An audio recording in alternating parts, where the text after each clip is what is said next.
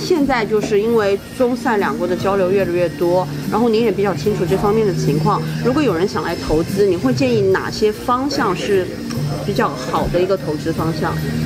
投资方向有很多的，嗯我们现在呃越来越很多中国大企业，嗯包括小小的企业、小小公司代表人，还有那些呃代表人过来考察，越来越多，嗯也有几个小工厂已经在准备在这里开的，有些已经开起来了。嗯现在为什么开工厂比较方便呢？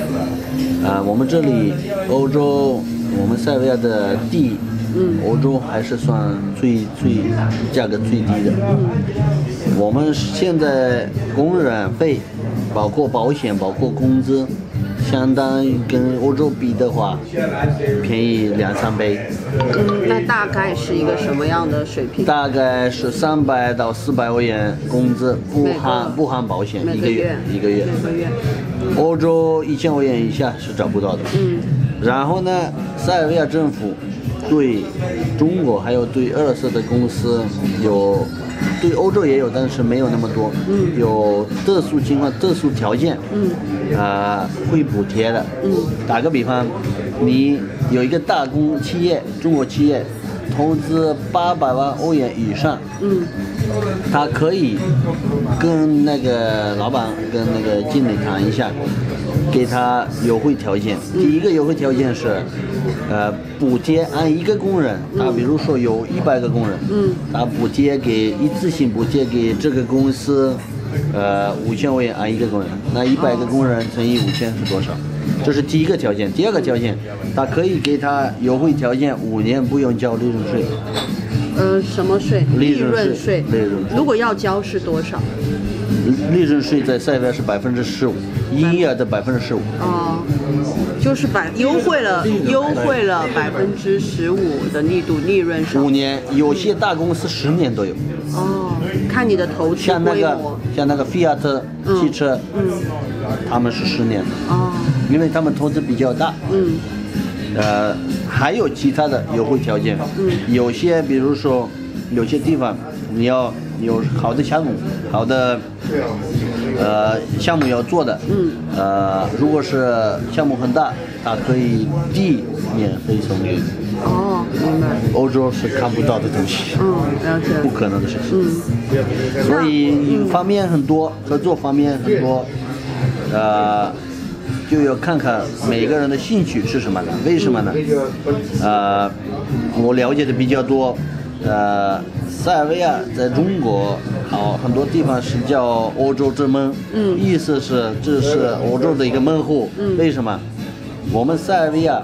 如果中国或者其他的国家的企业现在越来越多，我们鼓励他们过来的，在这里生产的东西，嗯上面上面写塞尔维亚制造，嗯啊，整个欧洲是免关税的，俄罗斯免关税的。你从中国发货发到欧洲不是免关税，从俄罗斯发从中国发到俄罗斯不是免税。嗯。啊，而且这边特别是对那些企业对欧洲有兴趣，离欧洲这么近，嗯。意大利才呃七百公里，匈牙利两百五十公里，希腊六百公里，奥地利六百公里，嗯。你这呃英国才一千公里，呃那个那个德国一千公里，嗯。欧洲国家都很近，等于是说运输费便宜，没有关税，所以对这个不要看看只有塞维亚的市场，就看看整个欧洲的市场。那您说的免关税这一块是泛指哪一些范围的产品都是免关税？所有的，所有的。所有的，不管什么产品，塞维亚制造、塞维亚生产的，全部都是免关税的。百分之五十以上。哦，就不管是酒、主要是食品、服全部装、纺织，主要是，呃，刚才陈总提醒我，嗯塞维亚产品是什么意思？嗯你百分之五十一必须要在这里生产，等于说你一些配件你可以从中国、从其他的国家带过来，哦。但是产品的百分之五十一，这个很好算。这一个产品，比如说里面的系统是中国做的，外壳是这里做的，然后这边的工人把它加在一起需要多少钱，全部算起来，这个系统是多少钱？百分之五十一如果是中国的，他会给你一张许一张一张许可证，一张批文，这个是塞尔维亚产品。百分之五十一是塞尔维亚的，塞尔维亚的，那就是算塞尔维亚的产品对欧洲是免关税的。哦，就是会有很大的一个优势是在这一块。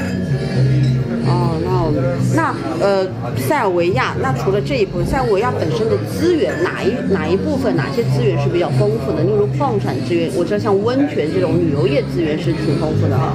呃还有其他什么资源是比较丰富的吗？人力资源。农业用地特别多，哦，呃，雪山也非常好，呃，温泉，我们塞尔维亚也可以说是欧洲方面的最丰富的有温泉的那个一个国家，但是对地下泉，但是问题是没有没有开放的，嗯。就是这个问题呢。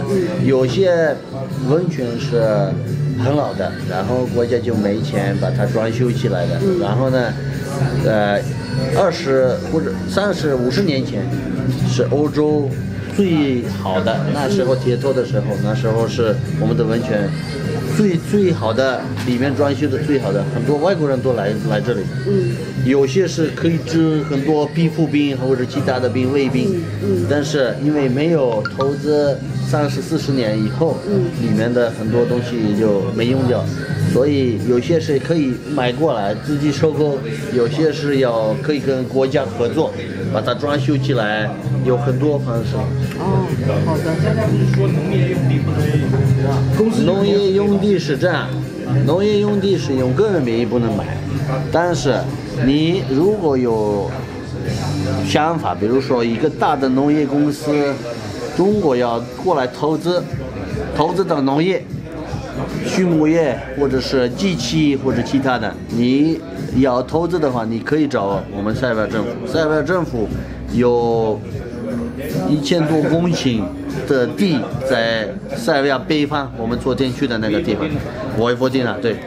然后呢，他们这些地基本上都是租的。你如果有好的项目，你可以跟他们说，我我需要五百公顷的地，我有这种的一个计划，要把它发展成什方往什么方什么方向，然后怎么做的，我要投资多少钱，我要跟你们合作，你们租给我，或者是让给我，或者怎么样，他们会让你。如果是用个人名义买，不能买，哦，那这个公司要大到什么程度是有限制的？没有。没有，就以公司名义就是。他就是说，公司名义又是和农业相关的产业，就可以去单独申请。对，如果随便可以买的话，嗯，所有的外国人，特别是欧洲，他们会过来，哎，我要的。他们有些国家很有钱的，我们的地便宜，他们肯定会考虑这到这一点。所以十几年前，我们的政府下来一种这种规定，外国人不可以买农业用地，嗯，所以如果我过来，我想大面积的因为，他你你考虑一下，他买过来了。整个沃伊沃蒂娜这个是空的呢农业用地，他买走，然后呢，他所生产的东西出口，那我们塞尔维亚省下来什么东西？